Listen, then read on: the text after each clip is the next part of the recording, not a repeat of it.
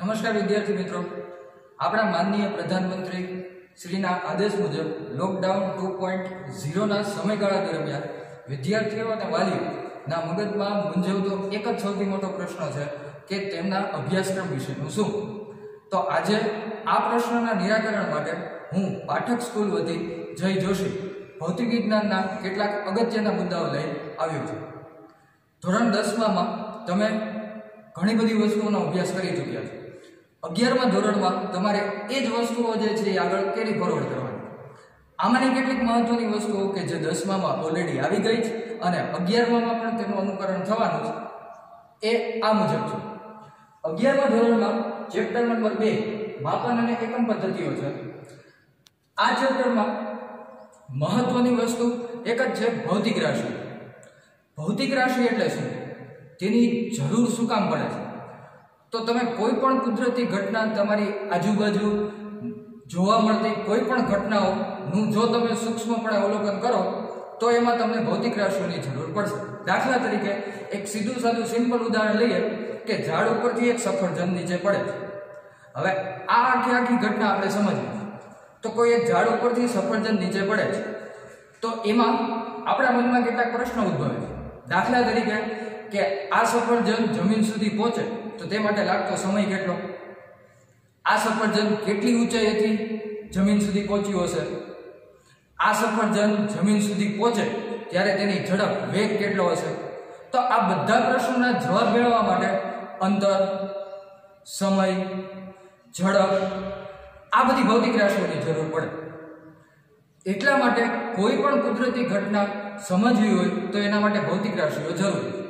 આવી ભૌતિક રાશિઓના મુખ્ય ત્રણ પ્રકાર છે.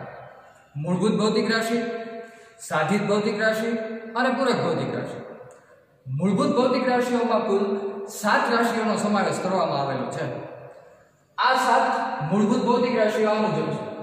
દળ, અંતર, સમય, તાપમાન, વિદ્યુત પ્રવાહ, દ્રવ્યનો જથ્થો જ્યોતિર્બિંદ આ સાત મૂળભૂત ભૌતિક રાશિઓ છે.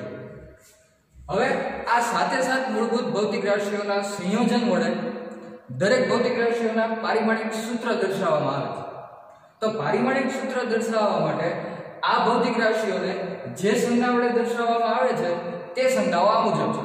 દળને કેપિટલ એમ વડે દર્શાવાય છે, અંતરને કેપિટલ એલ વડે દર્શાવાય છે સમયને કેપિટલ ટી વડે દર્શાવાય છે, તાપમાનને કેપિટલ કે વડે દર્શાવાય છે, વિદ્યુત પ્રવાહને કેપિટલ એ વડે દર્શાવાય છે, દ્રવ્યનો જથ્થો, મોલ એમઓએલ વડે દર્શાવાય છે, અને જ્યોતિ તીવ્રતા કેન્ડેલ સીડી વડે દર્શાવાય છે. તો આ મૂળભૂત ભૌતિક રાશિઓના સંયોજન વડે જે સૂત્ર તૈયાર થાય છે, તે સૂત્રને તે ભૌતિક રાશિનું પારિમાણિક સૂત્ર કહેવામાં આવે છે.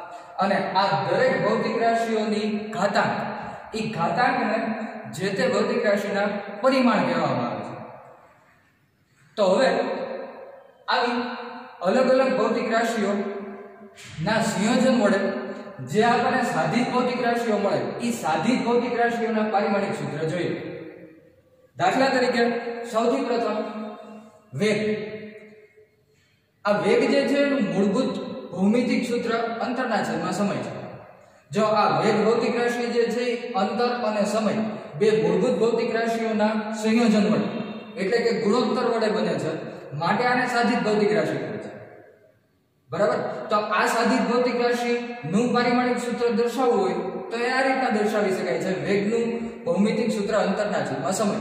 અંતરને એલ વડે દર્શાવાય છે, સમયને ટી વડે દર્શાવાય છે અંતરનો પરિમાણ એક, એટલે એલની ઉપર ઘાતાંક 1 સમયનું પરિમાણ એક, એટલે ટી ની ઉપર ઘાતાંક એક.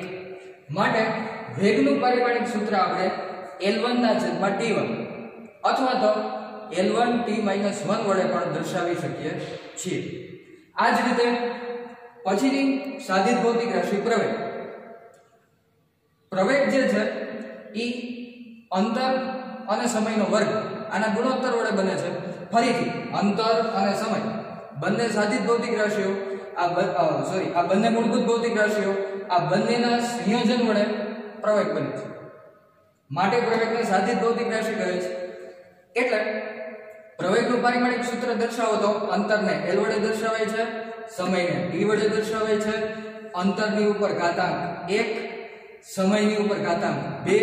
માટે પ્રવેગનું પારિમાણિક સૂત્ર l1 ના છેદમાં t2 જેને l1 t 2 વડે પણ દર્શાવી શકાય છે. આ જ રીતે ક્ષેત્રફળ. ક્ષેત્રફળનું ભૌમિતિક સૂત્ર લંબાઈ ગુણ્યા પહોળાઈ. લંબાઈ ને l વડે દર્શાવે છે. પહોળાઈ l વડે. કારણ કે બંને અંતરના પરિમાણ છે. લંબાઈ, પહોળાઈ બંને અંતર વડે દર્શાવી શકાય છે. માટે બંનેને l થી દર્શાવીએ છીએ. બંને ઉપર ઘાતાંક 1 એટલે l1 l1 એટલે l2 માટે ક્ષેત્રફળનું પરિમાણિક સૂત્ર l2 વડે દર્શાવવામાં આવે છે. આ જ પ્રમાણે કદ.